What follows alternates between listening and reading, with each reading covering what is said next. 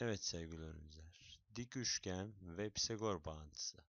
Milli Eğitim Bakanlığı'nın yayınlamış olduğu kazanım kavrama testi, test 19, 8. sınıflar için çözmeye çalışacağım. Önce bir dikdörtgenden, pardon bir kareden bahsediyor. Şimdi karenin çevresi 20 ise ve karenin 4 eşit kenarı varsa, önce onu 4'e bölersek, her bir kenarın 5 santimetre olduğunu buluruz. Burası 5, burası da 5. Bizden köşegenini soruyor. Köşegenini çizerse köşegen burasıdır. Yani bir köşeden kenar olmayan, yani komşu olmayan karşı kenara, karşı köşeye çizilen doğru parçası. 5 5 ise buranın 5 kök 2 olduğunu bilebiliriz. Bazı öğrenciler bunu bilemeyebilir. Onlar için Pisagor uyguluyorum. 5'in karesi artı 5'in karesi eşittir x kare. Şuraya x diyelim. 25 artı 25 eşittir x kare. Şurada da kare olduğunu unutmayalım. 50 eşittir x kare. Karekök derslerinde anlatmıştık zaten. 5 kök 2 olduğunu buradan rahatlıkla söyleyebiliriz.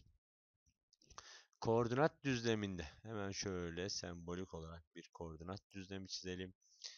Ee, diyor ki eksi 3'e yani x'imiz eksi 3 y'miz 5. x bu taraftır. Her zaman yatay doğru x dikey doğru y. Şimdi eksi 1, eksi 2, eksi 3. 1, 2, 3, 4, 5. Bunun birleştiği nokta şöyle elimizde tamamlayıverelim. Şurası. Yani şurası 5 birim. Şurası 3 birim. Bizden şurayı sor. 3, 4, 5 demeyeceğiz. 4 kesin olmaz çünkü 5'i geçmek zorundayız. 3'ün karesi yani burası eksi 3 uzunluk olarak mutlak değerci alındığı için 3 santimetredir. 3'ün karesi 9, 5'in karesi 25 eşittir. Buraya x dersek x kare. 9'un 25 ile toplamı 34 eşittir x kare. Hangi sayının karekökü diye soramayacağımız için kök 34 eşittir x olacaktır. Evet biraz aşağıya inelim. Direkt Pisagor denilen bir şey. Buraya a dersek kök 5'in karesi artı 2'nin karesi eşittir a kare. Buradan kare kökü götürecek 5. 2'nin karesi 4 eşittir a kare. 3 ile 4'ün toplamı 9 eşittir a kare. Hangi sayının karesi 9'dur? 3'ün karesi 9'dur. O zaman a'mız kesinlikle 3'tür. Burada iç içe verilmiş iki tane dik üçgenimiz var. Buraya x, buraya y diyelim. Bizden y'yi soruyor ama y x'e bağlı olduğu için önce x'i bulmamız lazım. 2'nin karesi, burada dik kenarların kareler toplamı hipotenüse eşit olduğunu unutmayın. Yani 7 ile 2'nin karesi x kare eşit değil. 2'nin karesi 4 artı x kare eşittir 49. 4'ü bu tarafa eksi olarak geçirsek x kare eşittir 45. Daha ileriye gitmeye gerek yok. Zaten bir daha Pisagor alacağım. Şu AB'nin karesi 6'nın karesi 36 artı x kare eşittir y kare. 36 artı x karenin 45 olduğunu bir önceki Pisagor'umda bulmuştum. 36 45 toplanırsa 81 eşittir y kare. Hangi sayıların karesi 81'dir? Sadece 9'un karesidir. Burada eksi 9 da vardır ama uzunluk olarak geometride eksi 9 kullanılmaz. Evet. Yukarıda da e, doğru parçaların 3 tanesi ucuca eklenerek dik üçgen oluşturuluyor. Dik üçgen burada önemli. Dik üçgense buradaki sayıların hepsi tam sayıysa bu özel bir üçgen olmak zorundadır. Şimdi 9 3'ün 3 katı. 12 4'ün 3 katı. 15'te 5'in 3 katı olduğu için burası 3 4 5 üçgeninin 3 katı olur. Burada GH boşta kalır. Burada özel üçgenleri iyi tanımamız, iyi bilmemiz gerekiyor. Şekilde ABC üçgeni ikizkenar yani şu iki kenar birbirine eşit demektir. Bu hipotenüs uzun için eşit olma şansı yoktur. Eşkenar üçgenimizin de şöyle S'lerle belirtirsek e, AE 7 yani şurası 7. Burası da 25 olarak verilmiş yani ED. Eşkenarsa buralarda 25'tir. Şimdi şöyle bir özel üçgenimiz vardı. Öğrencilerimiz unutmasın diye 7, 24, 25. Yani Vakıfbank e, 7 7-24 çalışıyorum. Yani 25 saat çalışıyorum anlamında. Şimdi burasına x, x dersek. Burada ikizkenar dik üçgen var. Burada e, onun yarısının kök 2 katı olduğunu söyleyebiliriz. Ama bunu Pisagor'dan yapmak isteyenler x kare artı x kare eşittir. 24'ün karesi 576 x kare eşittir. 576'nın yarısı 288'dir. E, bunu tabi biraz hızlı yapıyoruz. x eşittir de 12 kök 2 olarak bulunur. Şöyle alttaki sorulara bakalım. Şimdi burada e, bir yamuk. Yamuğumuz e, bu sene çok soruluyor. Şimdi buradan yükseklik çizersek bir dahi şöyle bir durum oluşur. Burası 4 ise burası 4, burası 6. Çünkü tamamı 10 olacak. Burası 5 ise burası da 5. Burayı bilmiyoruz. X diyebiliriz. 5'in karesi 25. 6'nın karesi 36 eşittir x kare. 25 36'yı toplanırsa 61 eşittir x kare. Nerede hata 61'in karekökünü alırsak x eşittir kök 61 zaten şıklarda da var.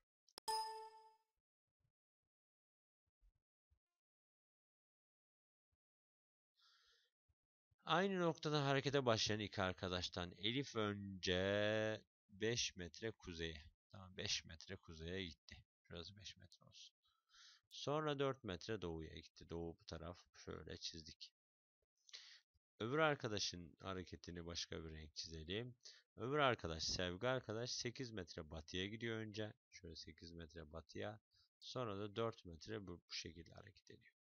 Ve ikisinin arasındaki uzaklığı soruyor. Şuraya yapalım. İkisinin arasındaki uzaklık şu şekilde. Tam oradan yani köşeden geçmek zorunda değil. Bizim çizimimiz gereği oradan geçmiş olabilir. Bunu çok önemli değil. Şuralara tamamlayalım e, yazalım yani. Şuralar 4. Bunu bir dik üçgen olacak şekilde tamamlarsak işimize gelir. Evet. Şimdi dikey kenarlar yani 5 ve 4 olduğu için burası 9. Yatay kenarlar 4 ve 8 olduğu için burası 12. Az önceki sorumuzda da geçmişti. 3'ün 3 katı, 4'ün 3 katı. Burası da 5'in 3 katından 15 santimetre 15 metre. Kaç metre dediğin için metre olacak. Unutmayalım. Sorularda birimler önemli. Evet. Bu soruda da bir ikizkenar üçgeni farklı bir ifade kullanmış. Şimdi ikizkenar üçgen çiziyorum. Önce soru ikizkenarı çizeyim sonra soruyu anlatırım size. Şöyle çizelim. Diyor ki aynı düzlemde A noktası B ve C noktasına eşit uzaklıkta ve 13 santimetredir. Ve A noktasının BC doğru parçasına olan orta noktasının uzaklığı, uzaklık zaten en kısa uzaklık olduğu için dik uzaklık olmalıdır. Burası 12'dir.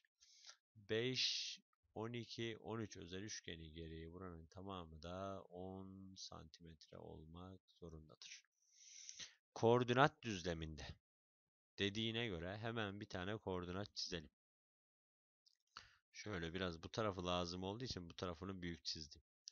Şimdi 2 eksi 3 1 2 eksi 1 eksi 2 eksi 3 Şimdi şöyle elimle tamamlayıvereyim. Şurası bizim 2'ye eksi 3 noktamız. Ve 5'e A nok 5'e A noktası x5 doğrusu üzerinde olur. 1 bir dakika elimle çizeyim. 2 idi burası. 3 4 5 biraz büyük çizeceğim. Şuradan şöyle bir şey. Şimdi bakın özel olarak 5 birim dediğine göre burada 3 4 5 üçgen olmalı. Şu arası 3 birim olduğunu görebiliyoruz. Bak şu arasına şöyle 3 birimse yani Buradaki şeklimiz başka bir renk alayım. Buradaki şeklimiz ya bu şekilde dik üçgen olacak yani şurası 3 birim olduğu için 3 birim olduğu için ya yukarıya doğru 4 gidecek ya aşağı doğru 4 gidecek. Yukarıya doğru 4 gittiğini hayal edersek yani e, tasavvur edersek Şimdi şurası ee, hangi doğru? Eksi 3. Yani burası 5'e 1 olmak zorunda. Çünkü bakın burası 3 e, noktası. Yani şurası 3 birim. O zaman bir yukarı daha gidersek burası 4 birim olur. Burası 3 birim, 3, 4, 5 olur. Yani ilk noktamızda A'nın alabileceği ilk değer 1. Peki doğru üçgenimiz yukarıya doğru değil de aşağı doğru olduğunu düşünürsek şöyle tamamlarsak birazcık çirkin oldu. Şu noktamız 5'e e, A olacaktı. Burası da bakın burası eksi 3 yani eksi 3 noktası. 4 aşağı indirdiğinizde 5'e eksi 7 noktası olur. O zaman A'nın alabileceği diğer değer eksi 7. Bunları topladığımız zaman da cevap eksi 6 olur. Evet son iki soruya geldiğimizde şimdi burada bir 3 4 5 üçgenini net bir şekilde görebiliriz. Bakın burada 3 kare var. Burada 4 kare var. Yani burası 3 kare. Burası 4 kare ise burası da 5 kare. Yani 5'in katı olmak zorunda. O da 20 santimetreymiş. 5x eşittir 20 ise x eşittir 4. Yani her bir dilim 4. Peki burada kaç tane kare var? Onu sayalım. 1, 2, 3, 4, 5, 6, 7, 8, 9, 10, 11, 12, 13. 13. Diğer uzun kenar kısa kenarda hesaba katarsak 26 tane kare var. Karenin her bir parçası 4 ise 4 kere 6 24, 4 kere 2 8, 2 değerli 10. 104 santimetre olarak buluruz. Evet. Bu üçgeni de nedense kırmızı ile çözmek istiyorum. Çünkü burada biraz renkler ya da yeşille çözelim. 3, 4, 5 zaten dik üçgen olmak zorundadır her zaman. Ama 3 de 4 dik kenar, hipotenüs 5 olmalıdır. O zaman burası dikse, burası 8, burası tamamı 15. Dolayısıyla 8, 15, 17 özel üçgeni var. Bunu bilmeyenler Pisagor'dan da yapabilir. Ama Pisagor biraz işi uzatacağı için veya karekökler işin içine girdiği için problem çekebiliriz. Bence özel üçgenleri öğrenmek işimizi daha kolaylaştıracaktır. Lisedeki eğitim hayatımızda da karşımıza çıkacaktır zaten. Beni dinlediğiniz için teşekkür ederim. İyi geceler.